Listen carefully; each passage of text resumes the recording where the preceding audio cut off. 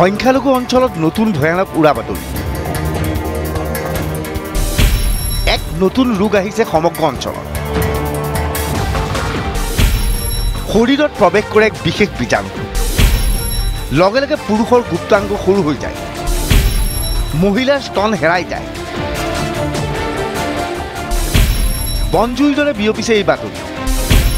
লগে লগে হাহাকাৰ। যাৰ যি মন যায় সিয়েই ৰোগৰ নাম দিছে। কোনোবাই নাম দিছে জিঞ্জি বেমাৰ। কোনোবাই নাম দিছে নেফ্ৰক্ৰনি অভয়াপুৰীৰ এই দৃশ্য মন কৰক এগৰাকী কিশোৰীক এইদৰে পানীত ডুবাই ৰখা হৈছে। ঘৰৰ মানুহে এইদৰে কিশোৰীগৰাকীক পানীত সোমোৱাই বাল্টিঙে বাল্টিঙে পানী ঢালি দিছে। উৰা বাতৰিৰ মতে পানীত সোমাই থাকিলে বীজাণুৱে আক্ৰমণ নকৰে। পানীত সোমাই থাকিলে স্তনো সৰু হৈ নাযায়। আন এক প্ৰতিকাৰ কাণত চূণ। এইবাৰ অভয়াপুৰী অঞ্চলৰ কিশোৰ আৰু যুৱকসকলক মন কৰক। সকলোৰে কাণত চূণ। এইবাৰ এই মহিলাগৰাকীক মন কৰক। ভয়ত চকুৰে হুক হুকাই পানী ওলাইছে। মুঠতে সকলো এতিয়া পানীত জঁপিয়াইছে ল'ৰাটো ইয়াতে আহিছিল আহি একে ৰাতিতে এনেকুৱা বেমাৰটো হ'ল। হোৱাৰ মানে লিংগটো ভিতৰ ফালে সোমাই যায় আৰু ছোৱালী মানুহ টনটো ভিতৰ ফালে বহি যায়। পাছত মই স্বাগতত লৈ গ'লোঁ। স্বাগতত লৈ যোৱাৰ পাছত ৰিচিপ্ট কাটি ডক্টৰক দেখালোঁ। দেখুৱাৰ পাছত ক'ল যে এইটোতো কোনো ৰিপৰ্ট বেমাৰ নাপালোঁ। নাপোৱাৰ পাছত ঔষধ টকত দিল। ঔষধ টকত দিয়াৰ পাছত লৈ আহিলোঁ। লৈ অহাৰ পাছত আৰু সেই তাৰ পিছদিনা ৰাতি সেই ৰাতি আৰু চাৰিটা মানুহ হৈছে। একেদিনা। আমাৰ গাঁৱত এই ঝেঞ্জি বেমাৰ বুলি কয় সেইটো আৰম্ভ হৈছে। হোৱাৰ পাছত সিহঁতৰ কি হয় এই পুৰুষ লিংগখন টানি ধৰিব লাগে।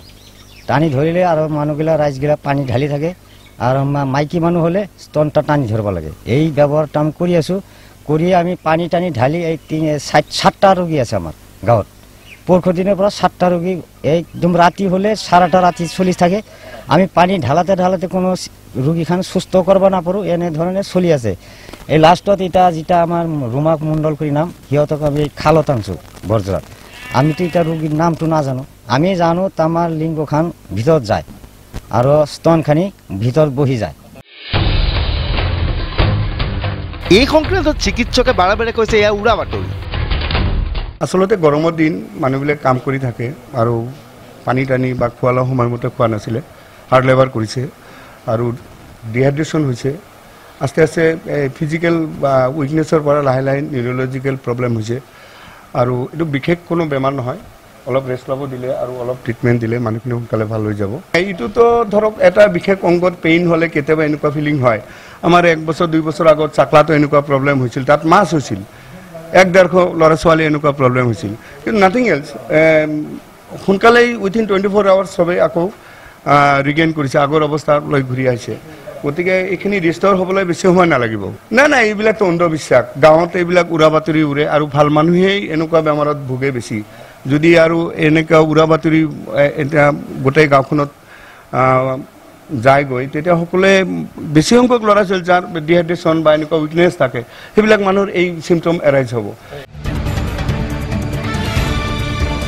আজিৰ পৰা পাঁচ বছৰ পূৰ্বে এই বাতৰি বিয়পিছিল ব্যাপক হাৰত। এতিয়া তাৰেই পুনৰাবৃত্তি হৈছে। বিক্ৰম ৰঞ্জন ৰয় আছাম টক্স অভয়াপুৰ